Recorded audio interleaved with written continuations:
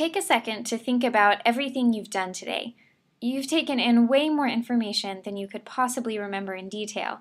Things you've seen, heard, smelled, touched, and tasted.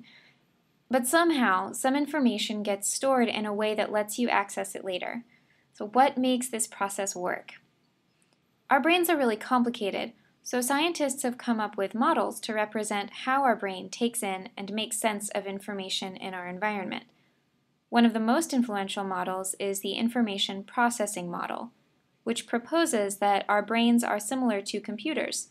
We get input from the environment, process it, and output decisions. It's important to note that this model doesn't really describe where things happen in the brain, it's more conceptual. The first stage then is getting the input, which occurs in sensory memory. This is sometimes also called the sensory register, so if you hear that term, just know it's the same thing as sensory memory.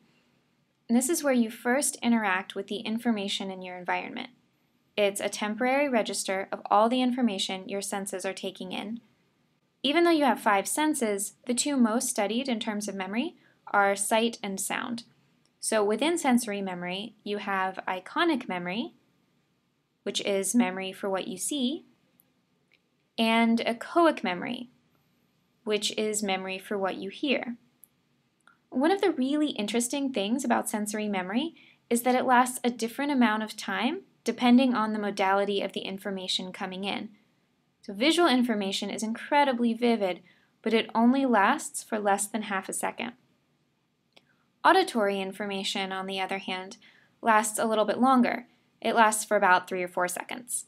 So if you've ever tuned out of a conversation and your friend gets mad that you're not listening to them, you can thank echoic memory for helping you remember the last thing they actually said.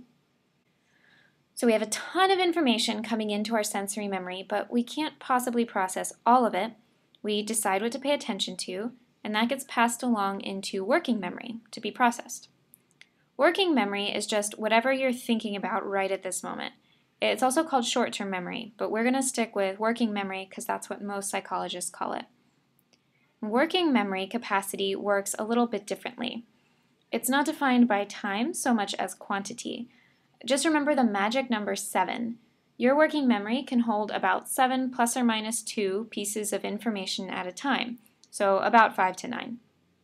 This does vary a little bit based on how complicated those pieces of information are, how old you are, that kind of thing. But generally, it's right around 7. And an interesting fact is that this is actually why phone numbers started out as 7 digits long. It was determined that that's as many pieces of information as a person could hold in mind without getting numbers confused or mixing them up. And just like sensory memory has different components for different types of input, working memory has different components to process those distinct types of input. Visual and spatial information, like pictures and maps, are processed in the aptly named Visuospatial Sketchpad, while verbal information, meaning words and numbers, are processed in the phonological loop. Again, think of repeating a phone number to yourself just long enough to type it in. That's using your phonological loop. Be careful here though. Verbal information means any words and numbers. So words and numbers you heard that came from the echoic memory and words and numbers you saw that came from iconic memory. So we've got a little bit of mix and match here. Now, you might be thinking that sometimes you need to process input that has verbal and visual information together, such as a map with street names and landmarks. In that case, you need someone to coordinate the efforts of the visuospatial sketchpad and the phonological loop so something called the central executive fills that role. You can think of him kind of like a traffic cop who directs the other components of working memory. Once the central executive tells the visuospatial sketchpad and the phonological loop to coordinate, then they create an integrated representation that gets stored in the episodic buffer, which acts as a connector to long-term memory. Long-term memory is the final stage in the information processing model, when stuff gets in here, it's like hitting the save button on your computer. Unfortunately, our memories aren't quite as foolproof as that. It doesn't work perfectly, but we can store a lot of information in long-term memory. Once again, there are different components that specialize in different types of memories. We have two main categories, explicit also called declarative, and implicit, also called non-declarative.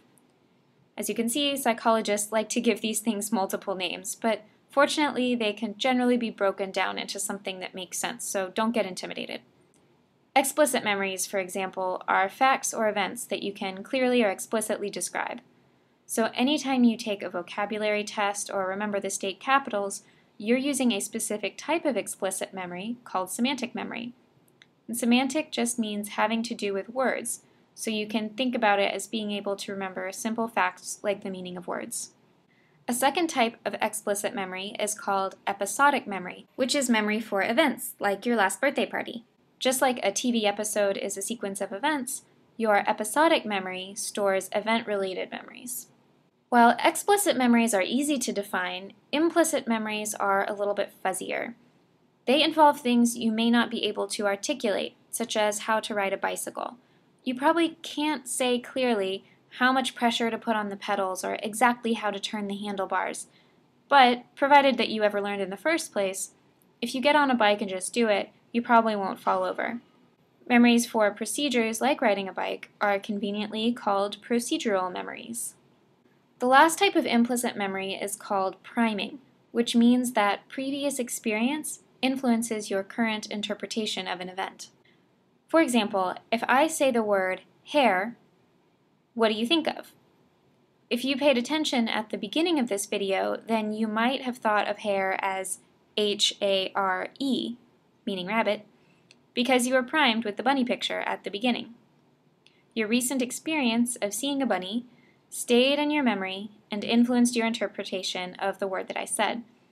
If you weren't paying attention or if you've maybe had to push your hair out of your face in the last few minutes, then you might have thought of hair as H-A-I-R, because it's generally a more common word. With all these components of memory, you might be wondering how much it can actually hold. I think we've all had the feeling that we can't possibly take in any more information. And while it might be true that you can't process any more information at the moment, unlike the computer in front of you, as far as we know, long-term memory capacity is unlimited. So your brain never actually gets too full for more information.